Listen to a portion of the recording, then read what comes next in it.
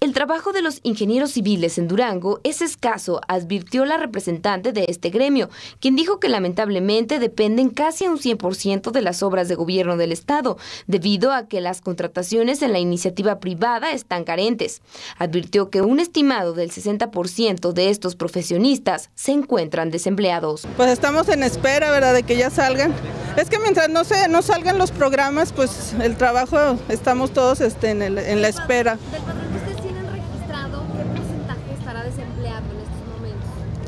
Pues yo creo algún 60, 70%. ¿Cuántos que tienen registrado?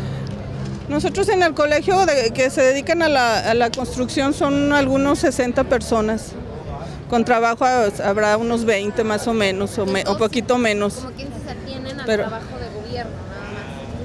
Pues a lo mejor a tenernos suena así medio, medio fuerte, pero sí, realmente dependemos del trabajo del gobierno, la, gran mayoría dependemos del trabajo de gobierno.